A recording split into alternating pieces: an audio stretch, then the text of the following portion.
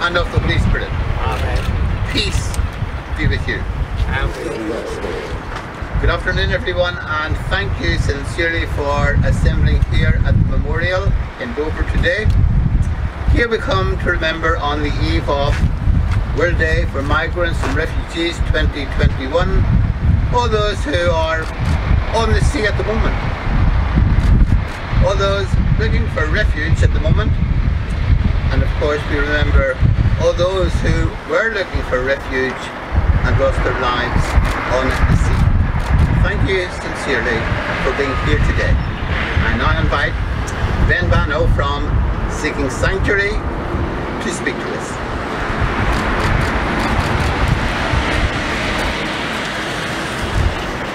Good morning everybody and a very very warm welcome uh, to all of you who have come from London and um, a very warm welcome as well particularly to Bishop Paul to, for making the effort to uh, come here from his busy diary.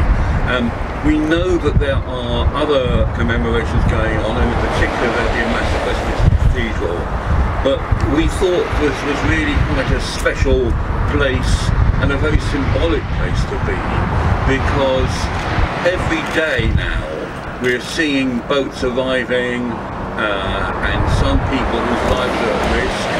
We read about the proposals which we all find I think fairly repugnant to get people to turn back and our service today is a real mark of affirmation of the values that we really hold true to and that not only as Christians but as all faiths and no faiths we believe in this critical time for our world.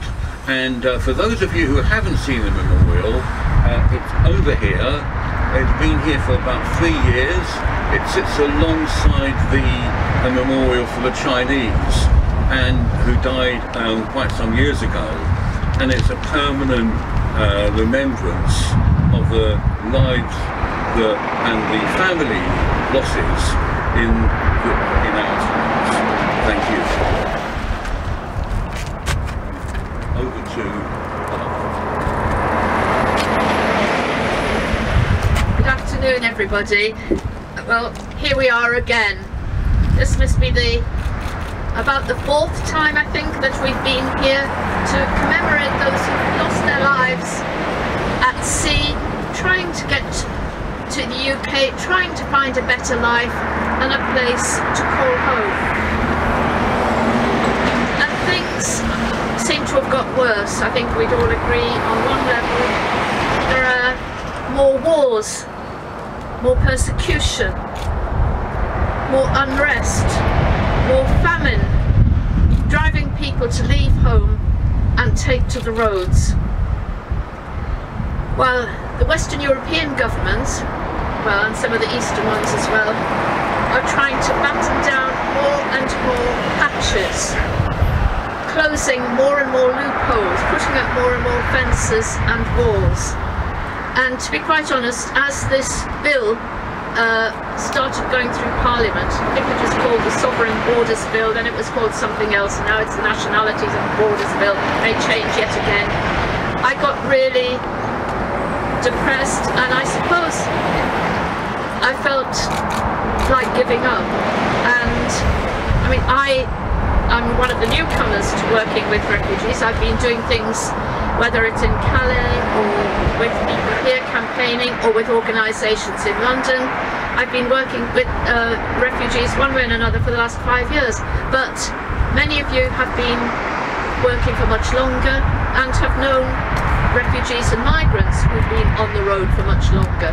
So I had the, the privilege of a few weeks, a few months I should say, um, on Iona in Scotland reflecting on all that and realised, well, it's not up to me to give up. Very easy for me to go off and live on an island somewhere, that would be lovely, but um, reality is that the world is still in this parlous state. Um, how do we look for hope? And I thought of three things. Um, some of those arriving over this very sea in the last few years have begun to settle and put, down roots, and some of us will know them. Um, Caritas had a, a, a, meeting the other week where we met and, and heard from some of them. Um, I got a, a, a, long text from a colleague who was working in the hospital in Calais, Maria Skobtsova, and he's been round visiting some, and he told us about M, I won't give the name obviously, in Manchester, who's studying physics, chemistry and biology GCSE. There's one of our future scientists, medical workers. We have S, who broke his leg in Calais in a lorry accident, falling off a lorry trying to get here. And I remember that occasion because I was in the house around that time and people having to visit him and his family coming over from I think it was uh, uh, Ethiopia. Um, now he's here he's settled. He's trying to bring his wife over who's just escaped from Eritrea. So somebody who's a bit further along on the journey. Um, and T a lovely woman well I've just seen her photo on the text um, she's now working for the NHS in Manchester. Well, how many more good news stories um, there must be of, of people that are now here and settled. So that's my first thing, hearing from the people that have made it and who are now ready to make a contribution in society here. Um, the second uh, reason for hope is there's this significant groundswell of fight back to the proposals from government. There's the RNLI who keep on going out and rescuing people despite government saying they shouldn't be doing that. Um, there have been um, people saying going out on the beaches welcoming. There, all of us in our different boroughs taking part in welcome refugee measures and councils stepping up to the plate and saying, yes, we'll have so many families. My own, Haringey is quite a poor borough, but we're taking eight Afghan families, as well as the foster children we uh, agreed to have in the Safe Passage campaign. So lots of goodwill there. So that's another uh, tremendous sign of hope if we if we keep looking for it and don't just read the headlines from government. And the, the third thing, of course, is our faith. And when I was thinking of giving up, um, thinking, oh, I just want a quiet life, um, I thought of all the other occasions where people of faith have simply resisted whatever the, the, the, powers of darkness they saw coming at them. And we go way back to Nazi Germany and all those sorts of situations. People that have opposed to persecution in their own countries. And of course the biggest sources of faith that we have are the migrants themselves who are holding on and holding on. Uh, and in Calais it was often uh, their, their faith gatherings that were giving them uh, hope to continue. The Eritreans were getting together um, in a place one of the waste grounds in Calais and they kept getting moved on and they kept gathering to pray. Sometimes they would come to Maria's, Maria's house to pray. And so it's that faith of, of that God is there, God is just, God will not be mocked. And that's what we as their companions on these journeys can hold on to and I'm sure Bishop Paul and other people doing reflections and in the prayers will say more about that but that's when I came back from Scotland thinking, I've got no right to move aside. Other people with a lot more faith than me and a lot more resilience are going through such terrible things and still holding on to their faith. And so that's our inspiration, I think. Thank you.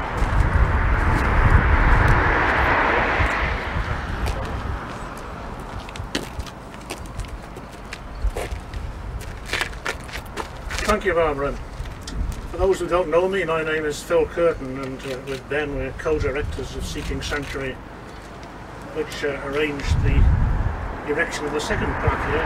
The earlier one came from the Dover people. We start with a reading from the book of Leviticus. When a foreigner resides among you in your land, do not mistreat them. The foreigner residing among you must be treated as your native born Love them as yourself. For you were foreigners in Egypt. I am the Lord your God. The word of the Lord. Thanks. Thanks be to God. Please uh, join in the litany which is on the first page. O Lord, our hearts are heavy with the suffering of the innocent victims, who have paid the price of seeking sanctuary with their lives. The cries of the victims still haunt us. Each day. Each day, lives are risked in desperate attempts to escape death and persecution. O Lord, we are one in solidarity with all those who risk their lives in seeking sanctuary, oppression and danger. Teach us to extend our lives beyond ourselves, to meet in genuine solidarity with those who suffer injustice. Death to life, from despair to hope, inspiring us the will to make our world a more welcoming and better place in the midst of so much violence and persecution. We believe that suffering need not be in vain, and that the disfigurement of our world is not what God intended. We dare to believe that God's heart to transform and transfigure, fulfilling the promise of new heaven, where justice and peace will reign. Each day, thousands of exiles bear your cross. A thousand thousand people flee their homes in the face of murder and genocide. Despite death, we believe in resurrection. Give us the strength each day to work to eradicate the injustices which lead to suffering and death. God, inspire us with your love, challenge us with your truth, and empower us with your strength to live for life in the midst of tragedy. Victims die anonymously, far away from their families who cannot mourn for them. Let us be a proxy for these families, remembering each victim with the love that only a family can bring. Out of the depths we cry to you, O Lord. Hear our cry and listen to our prayer. O Lord, forgive our life-denying pursuit of life, and teach us anew what it means to be your children. We believe in human rights, in the solidarity of all people, in the power of non-violence. We believe in God, who is love, and has given the earth to all people. We believe in human rights, in the solidarity of all people, in the power of non-violence. We believe in Jesus Christ, Who came to heal us, and free us from all forms of justice and oppression. We believe in the Spirit of God, who works in and through all who strive for the truth. We believe in God's promise to finally destroy the power of sin in the soul, and to establish the kingdom of justice and peace for all mankind. Through this memorial, let us ensure that refugees who perished on their journeys are never forgotten, as we say together these words given to us by Pope Francis. Every has a name, a face, and a story, as well as an inalienable right to live in peace and to aspire to protect the future.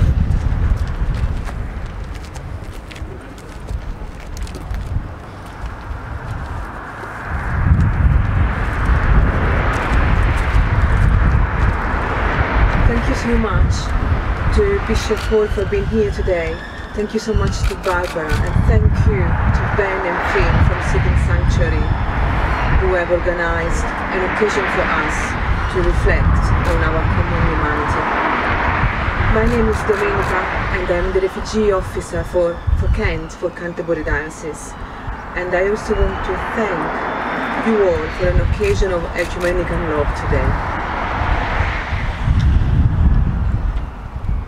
This is the second reading. Peter, verses 117.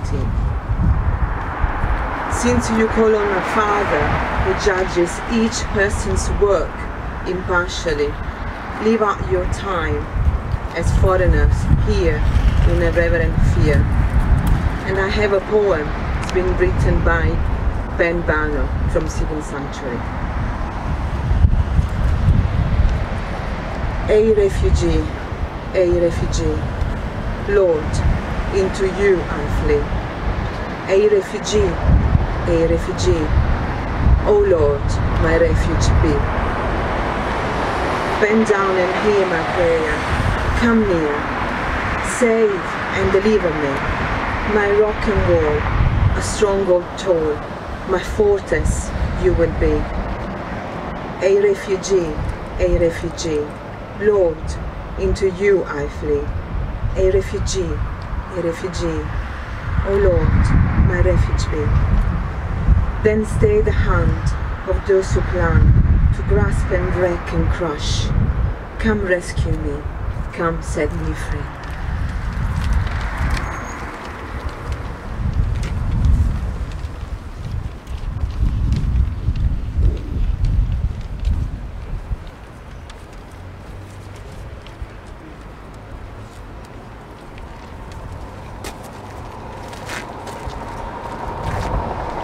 It's good to be here with you today. It is said there are about 26 million refugees in the world today. 26 million people looking for sanctuary, looking for refuge, a place to go all home. We gather here today to remember as Pope Francis told us, that we are not thinking simply of numbers or statistics, but every refugee has a name, a face, and a story. Again and again we hear that the reason people leave their home and seek a better life is for three reasons. Because of war, poverty and climate change. There's a saying, don't stand and look on when your neighbour's house is on fire. If your neighbour's house was on fire, would you stand and watch? Stand and look? Would you ignore it? The refugees, and literally in some cases, their houses are on fire because of war, war being waged in their countries by weapons that were exported to their country for profit. People are on the move because of a climate change that they did not create. Created by wealthy nations. The refugees born in poverty, living in poverty, exploited in poverty, and everyone has a right to a better life. Pope Francis says there are two cries. There's the cry of the poor and the cry of the earth. And the cry of the poor and the cry of the earth cannot be separated. The World Day for Migrants and Refugees is not simply another date in the calendar which we have to observe. It is a day for proclaiming that we have heard the cry of our neighbour. And the cry of our neighbour who really are our brothers and sisters, those refugees, is do not forget us. Remember us. It's a cry that says, I am your brother and sister. So we come publicly to declare, yes, we know your house is on fire. You're welcome here. And it is so edifying that more and more people in this country are hearing that cry, listening to that cry, and are willing to stand up for migrants and refugees. Where there are policies that say, let's not listen to the cry. But there are practices that say, let us silence the cry. Whenever there's rhetoric which says, don't listen to it, it's false, then it is people like us who have to present the truth, the reality. The reality and the truth of the pain, the violence, the persecution, those who are leaving their homes because they cannot farm or fish any more. It is up to us to present the truth. And as I say, it is so encouraging that more and more people are opening their ears to hear that cry of our brothers and sisters. And again, Pope Francis says, we are all in the same boat. Some have fallen overboard literally. May God give us the passion and the strength to always remember those migrants and refugees and demand that they are rescued and never put in danger. So much of our faith speaks about the dignity of a person. We also cannot forget another principle of social teaching, which is the universal destination of goods. If there are goods, then they are for everyone. We cannot deny people what is their right. And as has been said earlier, our faith is so important. Our faith motivates us. And in the message for World Day for Migrants and Refugees this year, Pope Francis speaks about how we have to replace individualism and consumerism with solidarity and fraternity. And it is we who have to take that message and put it into practice. Thank you for being here. Thank you for all you're doing in your parishes and in your communities for those migrants and refugees who are seeking a better life.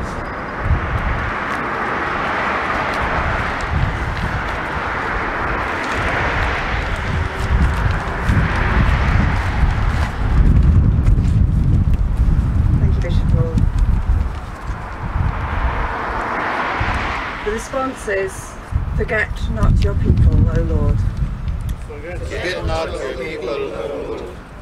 The cries of your people, who will never know security and safety. People. The yearning of the children, who will never be able to fulfill their potential. Forget not your people, O Lord. The parched bellies of those who die from hunger and malnutrition. Forget your brothers and sisters in humanity who will never know peace and stability. Forget not your people. Those who breathe their last breath as they struggle to remain afloat in the cruel waters of the ocean. Forget not your people, O Lord. Those who want to praise your name, but who can't through fear of persecution. Forget not your people, O Lord. Those who speak out against injustice and intolerance. Forget not your people, O Lord. Those who linger in prisons through fighting for what is right and just. Forget not your people, O Lord. Those who seek to magnify and praise you in the name of justice and peace.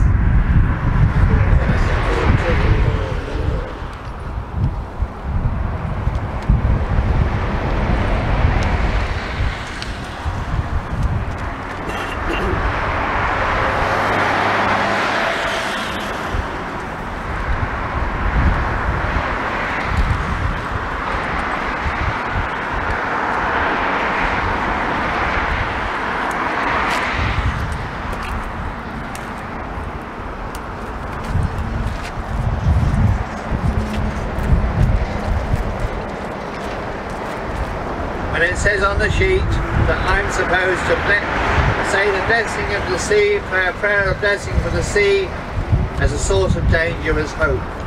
And the first thing I'd like you to do is turn and face the sea. But you can hear what I say, you don't need to see me. And as we look out, before we actually pray in blessing and seek God's blessing on the sea, just let's reflect for a moment on the balances the balances between the, the world of the water and the world of the earth. Now the water makes the world alive.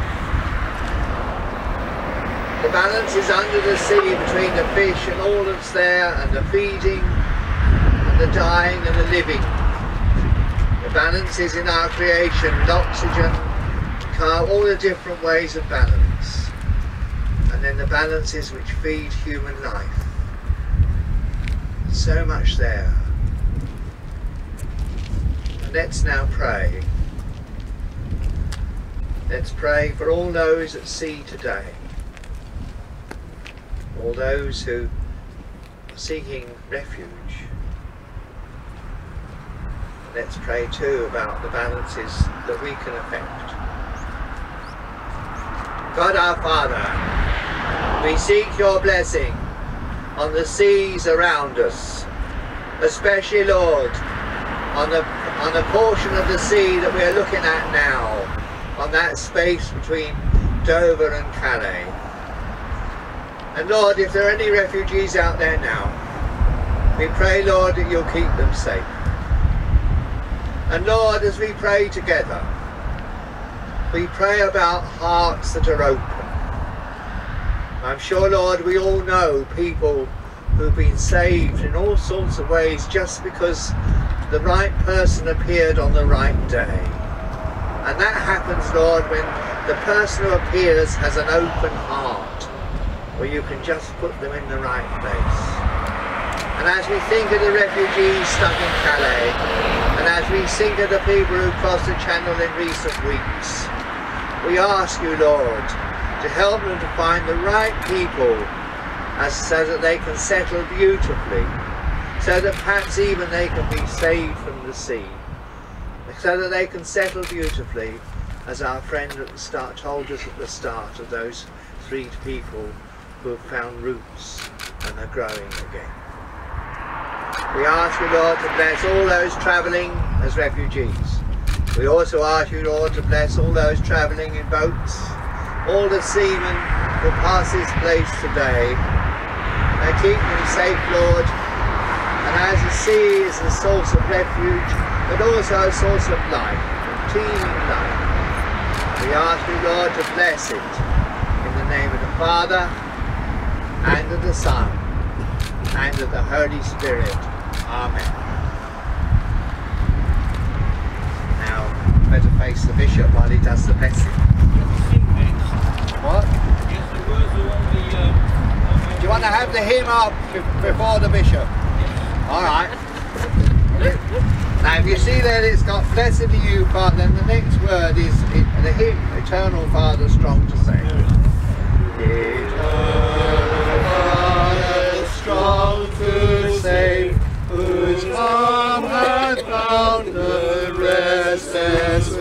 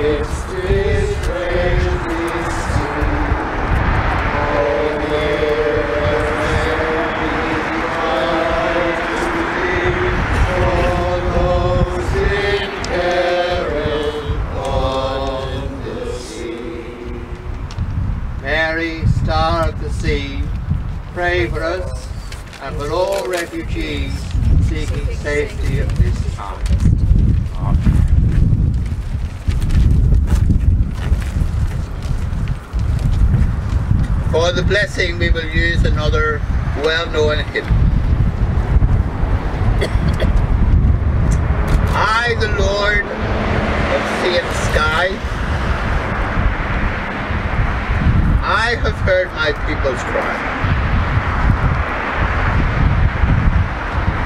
All who dwell in dark and sin, my hand will save. I who made the stars of night, I will make their darkness bright. Who will bear my light to them? Whom shall I send? Course we say today, Here I am, Lord. It is I, Lord. God our Father, we thank you for bringing us here today. We thank you for opening our minds, our hearts, and our ears to hear the cry of your people on the sea and overseas. We pray that your Spirit will continue to guide us and inspire us